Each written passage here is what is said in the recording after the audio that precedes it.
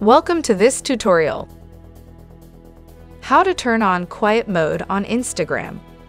Have you ever found yourself overwhelmed by notifications, or perhaps wished for a bit more focus in the midst of your scrolling adventures?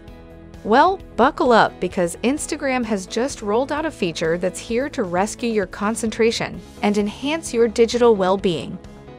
Ready to learn how to turn on quiet mode on Instagram?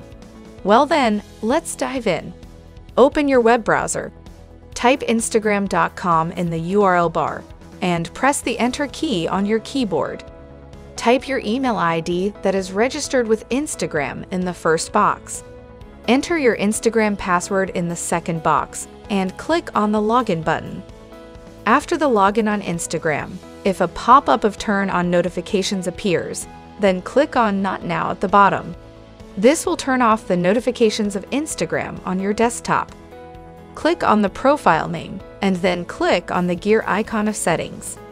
A pop-up window of the menu will appear. Click on the notifications option from the menu list. Now under the email notifications page, you can start selecting the off radio button to turn off the notifications each options, like feedback emails, reminder emails, product emails, news emails, emails about shops, basket emails, and support emails. Click on the Push Notifications option in the Settings panel. In the Push Notifications page, select the Off Radio button of likes, likes, and comments on photos of you, comments, comment likes, first post and stories, new followers, accepted follow requests, account suggestions, mentions in bio, message requests, messages from individual and group chats.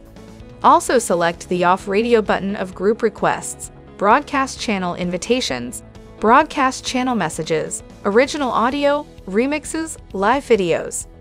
Scroll down and continue to select the Off Radio button of recently uploaded Reels, Most Watched Reels, Add Yours, Reels Made for You, Your Fundraisers, Fundraisers by Others, Reminders, Product Announcements and Feedback, support requests, trading places, birthdays, etc.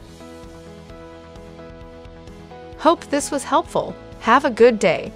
Please subscribe to our channel.